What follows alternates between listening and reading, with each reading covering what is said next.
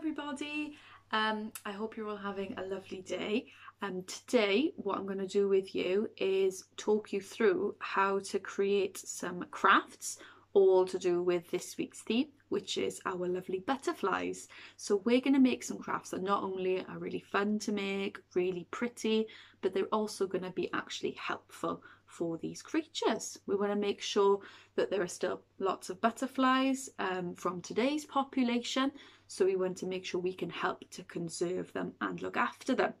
We talked a little bit about already ways of looking after them, things like putting out those flat stones for them to rest on, planting lots of lovely flowers, but here's a few kind of extra ways that we can look after them. The first one that I'd like to show you is creating a nice and easy, nice and simple butterfly feeding plate.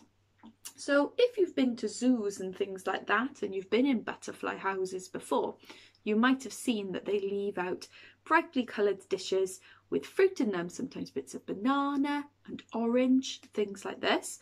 So what we're going to do is make our own version of that. So what we're going to have is basically your paper plate suspended by some string, but it's nice to have it patterned with lots of different colours and things. And I'm going to show you a way that you can make it even kind of more alluring and appealing for our butterflies. We know they like really bright colours, so that's important. Now I did say um, on the craft list, the things that you would need to carry this out is a paper plate, like this one here. You would also need some scissors, okay? So we're going to be nice and careful using these today. Um, you can also use either a glue stick or some sellotape. And you're also going to need some string to tie it all together um, and some felt pens to make it nice and colourful. And for our extra um, bit of decoration for it, you can also use some brightly coloured card like this stuff that I've got here. Okay, so the first step that you're going to do um, is the bit that you might need a little bit of help with.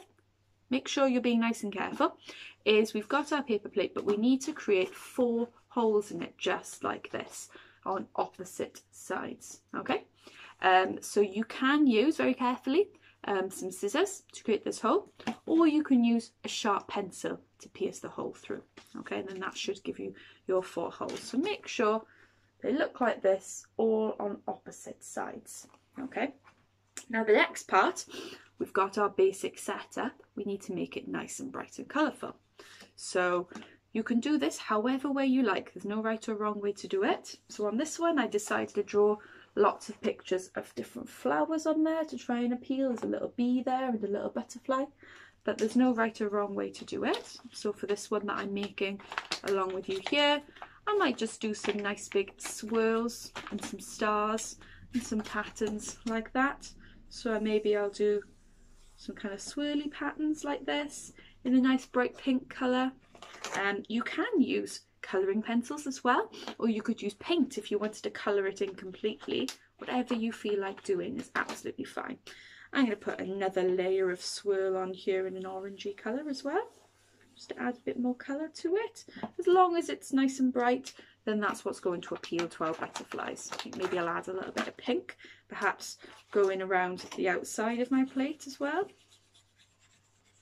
And you can spend some time making this really kind of detailed with lots of pretty pictures on it. Or you can just make a nice simple one that's got some bright colours on it. And like I say, if you do decide to use some paint and make it completely different colour, then um, just wait a little while for it to dry after you've done that before you carry on with the next few steps to make your butterfly plate. Okay, so I've got some colours on there. I think that'll do for the time being. So I've got some swirls and pretty patterns. What I'm going to do now for our next bit to make it even more kind of special looking is using the card that you've got on your card, trace out some petals so that you end up with around six or so petals, if you can see that on there.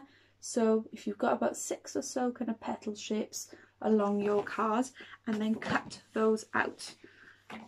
Be nice to have some lots of different colours, but that's okay if you don't have different ones. You can always just use the same colour so that eventually you've got lots of kind of petals that look like this what we can do with these is then add them to our plate to make it look like a lovely big flower opening up and inviting our um, butterflies in to feed on them okay?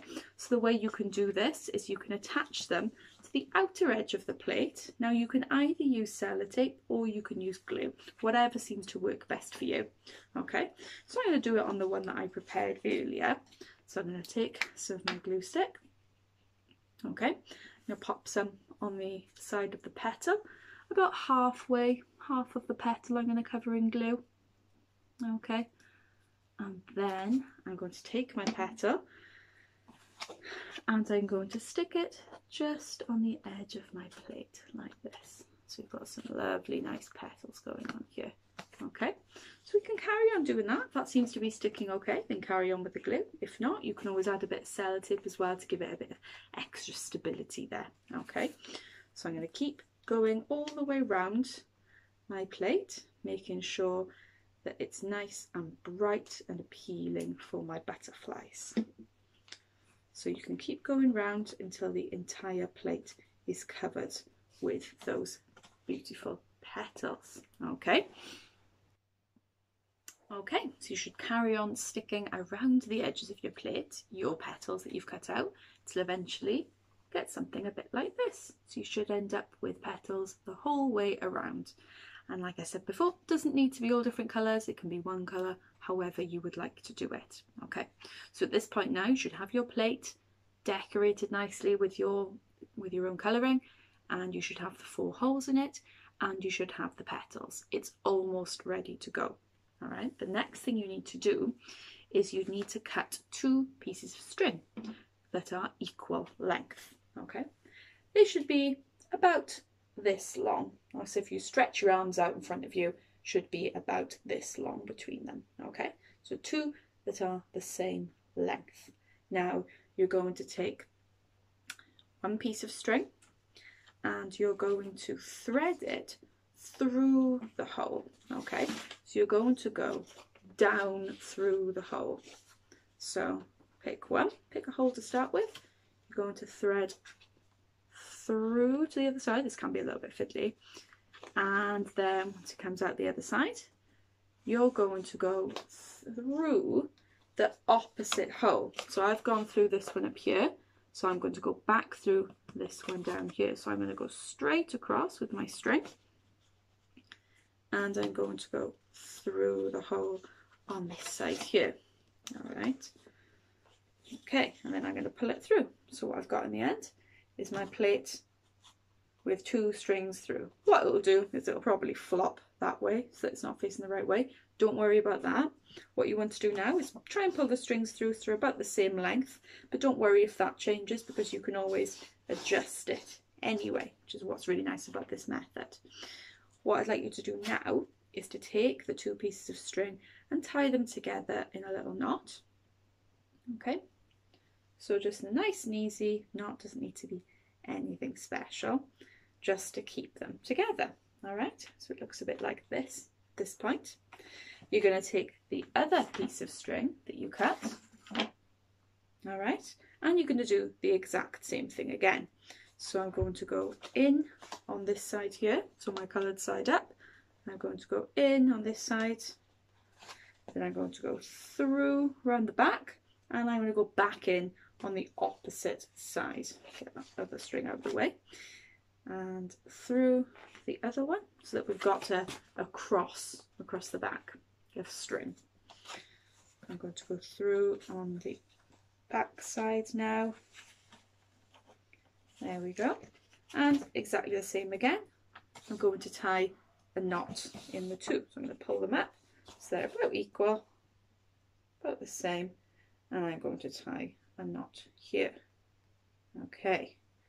The next thing I can do, now that I've got two bits of string with knots tied, is I can tie those two together. Okay, so I've got my two knots, put the knots together and just tie them into one big super knot.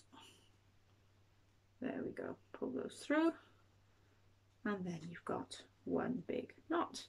Okay, and now if you're, if your plate is still tilting, you can just pull it through. You can adjust it so that it's always nice and equal. So this would be one if you decided not to add petals to it, but the one that I've added my petals to ends up looking a bit like this. All right, so for a butterfly, this looks like a nice, big, appealing flower for them to come down to and to drink from. Now, this is the part where your fruit comes in.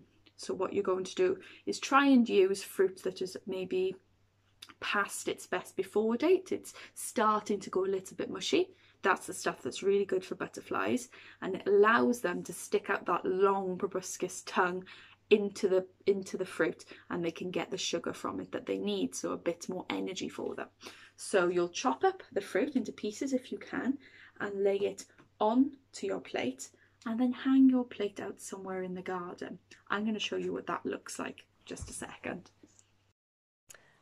so next you want to pick a spot in your garden that you know gets plenty of sunlight and is nice and sheltered that kind of spot that you know that the butterflies will enjoy. So I've picked this spot here where I've already got lots of flowers around me and I've just hung my butterfly feeder onto a little post here that's got a little hook. You can of course hang it onto anything that will hold it. You could hang it onto some tree branches or any kind of sticks that you have in the garden. And I've used raspberries here because they're nice and sweet and we'll bring them in. However, you could use chopped up oranges, bananas, apples, or anything that's kind of nice and sugary and starting to go a little bit mushy. Thank you very much. I look forward to seeing your pictures of your creations and please send me any pictures you've got of butterflies also enjoying our lovely treats.